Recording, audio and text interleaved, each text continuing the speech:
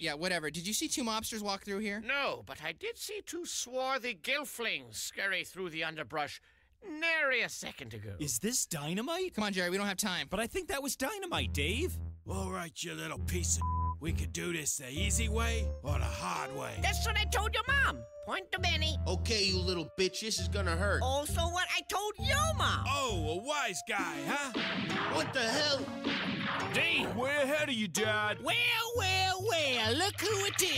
Tweedledee and Tweedledoo. Son, Box, leave jokes to me. You got a chief, shiny shoes, apple pie, best ball, okay. G.I. Joe. Boys, I got two barrels of my four barrel shotgun left. You want to give me a reason not to plug your butts? this is awesome.